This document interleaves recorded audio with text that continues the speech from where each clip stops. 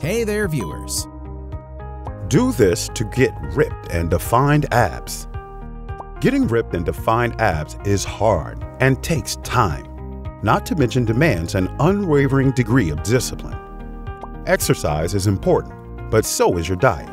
In fact, diet is responsible for the majority of your results. So, in this video, we will be touching on both diet and exercise departments. For instance, you must eat enough protein and do more compound exercises. Are you interested now? Make sure to stay tuned until the end to find out exactly how to get those ripped abs. Number 1. Eat enough fats. Exactly. Fat doesn't make you fat. Rather, it's too much food that makes you fat. Consuming more fats, the healthy ones of course, will help curb cravings. Fats take longer to break down, use, or store fats, hence, the feeling of fullness for a long time. The type of fat you eat is also important. Unsaturated fats are less likely to be stored as fat than saturated fats. Number 2. Get sufficient protein. Protein is important in the recovery process between workouts as it helps the muscle rebuild and get stronger. Also, increasing your protein intake can change your body composition by lowering body fat. The best part is that just 15% more protein on your diet can already make a significant difference. Before we continue, a like would be great. Number 3. Lay off the alcohol.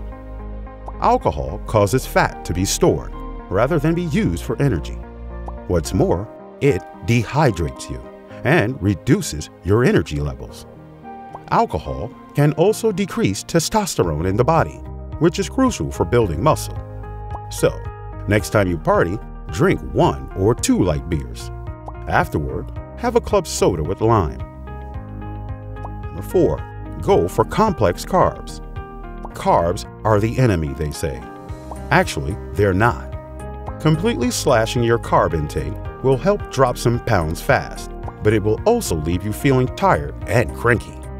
Thus, going for complex carbs is your best option. They won't spike your blood sugar and will make you feel fuller for longer. Number 5. Add high-intensity interval training, HIIT workouts. HIIT is arguably the fastest track to getting abs simply because the fitness technique is a combination of cardio and strength training and is done in quick succession. As a result, you get the best of both worlds fat loss and lean mass gain. Consider doing HIIT three to four times a week for a noticeable difference in your body. Number 6. Stop those thousands of crunches. That and do compound exercises instead. Compound total body movements promote a more balanced fat loss and a greater muscle building response than crunches and sit ups ever will. Some examples of good compound exercises are push ups, barbell squats, dumbbell lunges, dips, barbell bench press, barbell deadlift, seated barbell military press, close grip barbell bench press. Number 7 Exercise your ab muscles consistently. A good workout should include core training. To build muscle and achieve that definition, you need to work out your ab muscles. And when doing so, you should not just focus on your six pack, but also strength train your entire core. Popular core moves are mountain climber, bird dog, side plank with rotation, and bicycle crunch any reaction or comment about this video, feel free to share them with us below. If you liked the video, give it a thumbs up. For more interesting facts on the human body, subscribe to the channel.